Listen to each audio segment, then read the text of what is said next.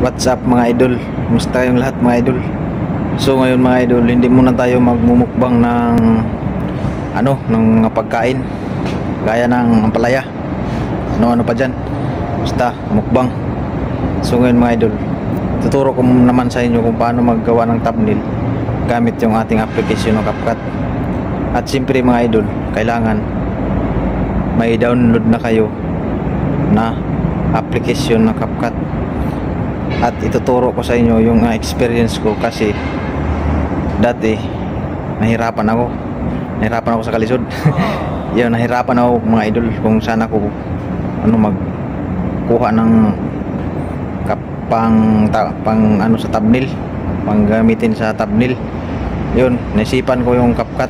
So ngayon mga idol i-share ko rin sa inyo yung application na ito at pwede rin ito natin gamitin sa pag-edit ng ating mga vlog. Ito rin yung ginagamit ko sa pag-edit ng vlog. So ngayon i-share ko sa inyo kung paano siya gamitin gamitin para sa thumbnail. Yan mga idol. Siyempre simulan natin to pagkatapos ng intro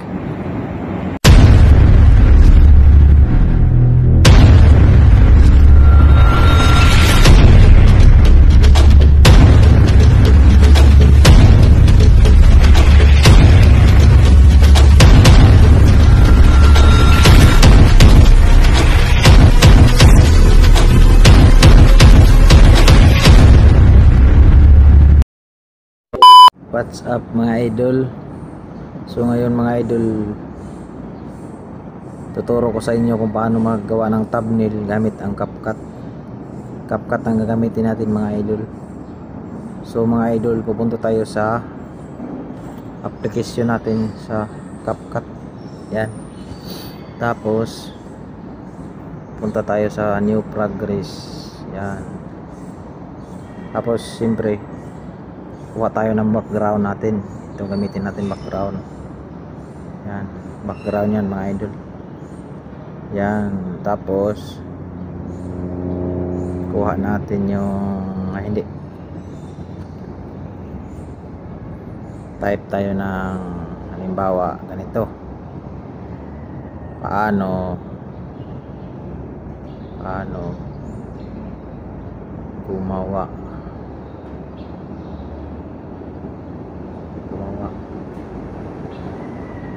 gumawa ng thumbnail. Thumbnail. Gamit gamit ang CapCut CapCut CapCut yan idol. Ang lagyan natin ng palitan natin ng kulay.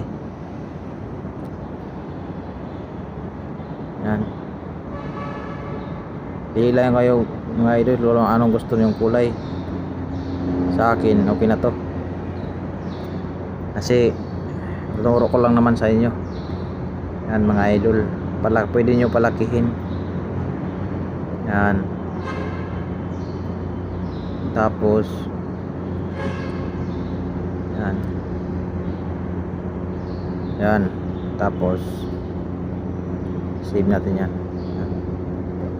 tapos siyempre mayroon mag-add tayo ng, ng logo ng CapCut. Mag-add tayo ng logo ng CapCut.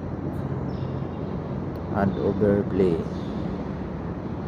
Add overlay. Siyempre may nakasave na din akong logo ng CapCut mga idol.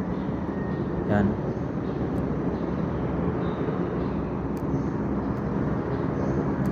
Yan.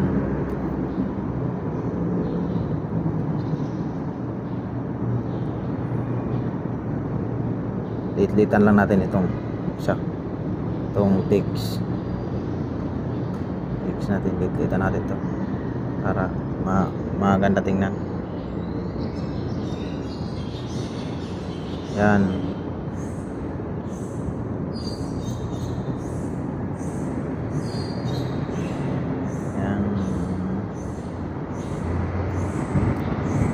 Yan. Halimbawa example yan mga idol. Yan example niya paano paano gumawa ng thumbnail gamit ang CapCut? Yan mga idol. Pwede rin kayo pumunta dito mga idol. Dito may background din dito halimbawa ilagay nyo yung mukha nyo. Ilagay, ilagay nyo yung mukha nyo tapos kuha kayo ng background. Dito lang kayo papunta mga idol. Dito. May mga background dyan oh. Yan. Yan. Mamili kayo ng mga background. Maraming background dyan mga idol. Yan. Pwede kayo mag magkuha ng background dyan. Nasa inyo na yan mga idol kung ano ang gusto nyong background. Basta ako tinuro ko lang sa inyo kung ano yung paano maggawa ng thumbnail gamit ang CapCut? Yan mga idol. At saka maraming salamat sa inyong lahat mga idol. Sana mag-subscribe kayo sa channel ko. Pagkatapos yan mga idol i-screenshot natin yan. Bawa ganyan. Screenshot natin yan ha? Screenshot natin yan. Yan yan. Tapos punta tayo sa punta tayo sa ating ano?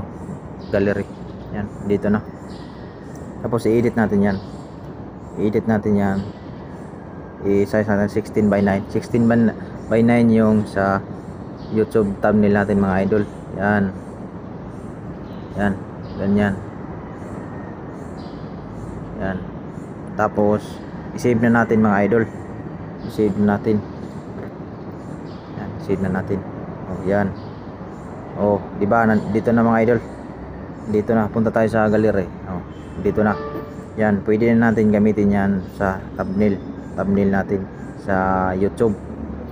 Yan mga idol. Sana makatulong sa inyo. At sana huwag niyo kalimutan mag subscribe mga idol.